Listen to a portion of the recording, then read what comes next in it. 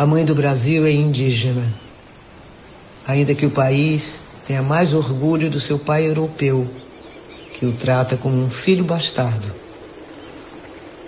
Brasil, sua raiz vem daqui, do povo ancestral, que veste uma história que escreve na pele sua cultura, suas preces, suas lutas.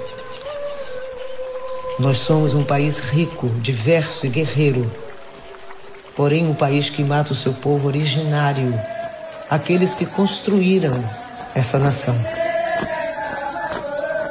O indígena não é aquele que você conhece dos antigos livros de história, porque o livro de história não foi escrito pelo indígena.